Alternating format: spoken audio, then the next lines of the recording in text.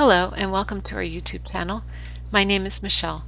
In this video we are going to discuss the feature of the classroom dashboard from the instructor's point of view. Let's first log in to your members site by clicking on the login in the right upper corner. Once logged in, let's navigate to the classroom dashboard by clicking on classes on the top navigational bar.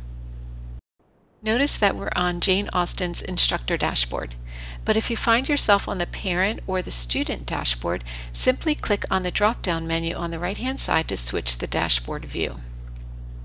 Our classroom dashboard page is a widget platform. Notice on each widget there is a double arrow that you can click on and expand that section to read all of your classes, assignments, class communications, etc. So I'm going to go ahead and click on it and show you what it looks like for my classes. And here we can see all the classes that Jane Austen is instructing in. Back on the classroom dashboard in the My Classes widget, notice that we have current classes.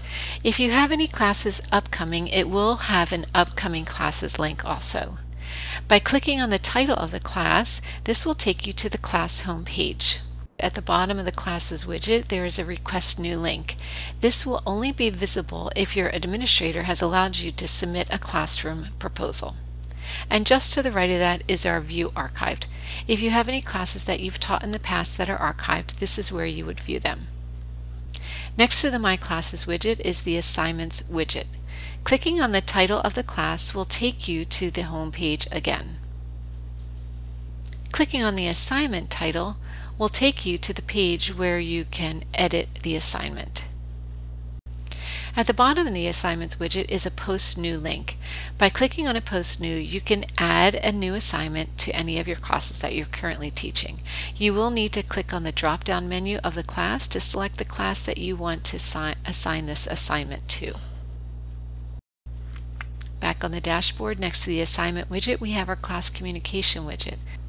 Clicking on the title of the class will take you to all the forums in that class. Coming back here, clicking on the title of the communication will take you directly to that thread where you can post to the thread or you can add a new thread to the class. On the classroom dashboard, at the bottom of the class communication, you can click on Post New. Clicking Post New will take you to a page where you can add a new thread, but you will need to click on the drop down and choose the class that you want to add this to.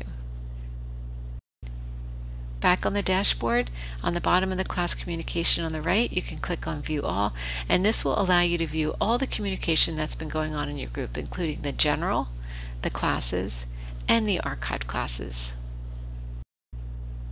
On the classroom dashboard, scrolling down, we have the Attendance widget. Here you can see that your classes have some attendance records in it. If we click on the class, Adventures in Reading, we will see attendance records here and here's where you can add new attendance records for that class. You also can toggle between your classes. Back on the classroom dashboard at the bottom of the attendance widget, you can click on Post New. Again, this will allow you to add a new attendance to any of your classes that you're teaching. Back on the classroom dashboard, we have the Grades widget. This will show you how many children are in your class that are being graded, and it'll give you an average of the grade for that class for all of your students. Clicking on the title of the class will take you to the grades and reports section where you can click on a student, see the assignments that are here listed for that student, and give them grades here. If there are any widgets that are missing from your classroom dashboard that we spoke about in this video, please contact your administrator. Thank you for watching our YouTube channel.